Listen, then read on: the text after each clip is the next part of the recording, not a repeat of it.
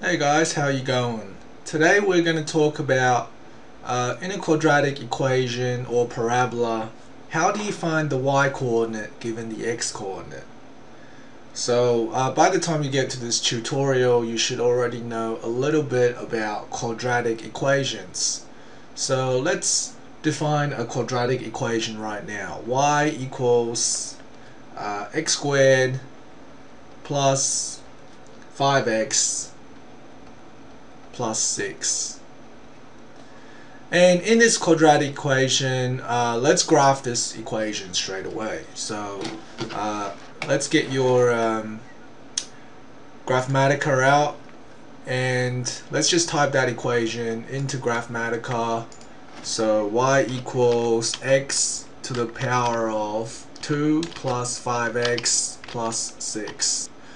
Notice that to the power of you get this symbol up by pressing shift 6 and that'll get to the power of symbol. So you can see that our graph right here.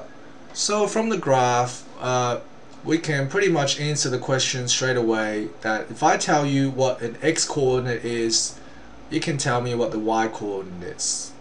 So uh, for example I want to know when x equals negative 4 what is the y coordinate on this graph?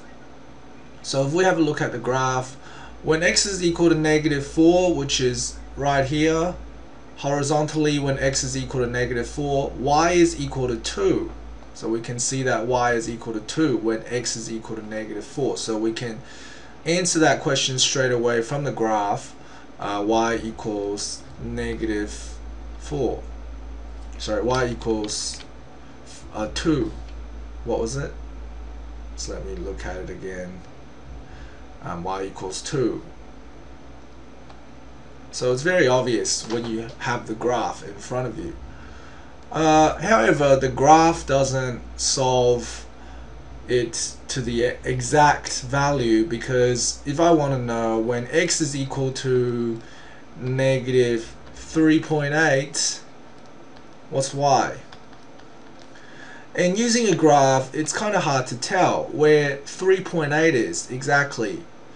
And then once, even if you get it down to exact 3.8, it's hard to know what the y coordinate is uh, as well. So even though you can get a rough idea of the x and the y values, it's not uh, exactly accurate. It's not the best, it's not the most accurate way. So this is when we can use algebra to help us. So we know the equation is y equals x squared plus 5x plus 6. So all we have to do is substitute the number negative 3.8 into our equation into our equation where x is substitute it in and that'll give us an exact answer for what y equals. So negative 3.8 squared plus 5 times uh, negative 3.8 plus 6. So put that in your calculator and you should get the answer. So negative 3.8 oops my calculator. So negative 3.8 squared. Uh, what was it? Plus 5 times negative 3.8 and plus 6 so the answer is uh, negative 27.44 probably tell that's not right straight away from the graph. And uh, so that is because something went wrong with our calculation. So let's try that again. Um, let's try bracket negative 3.8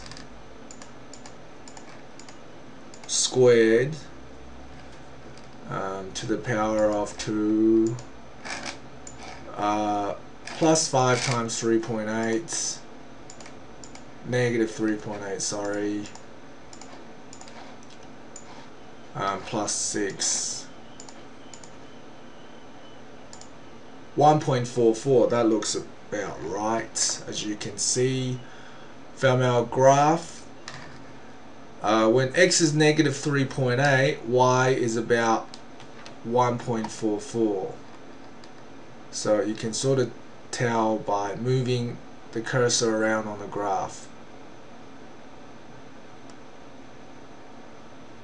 actually it says when x is negative 3.8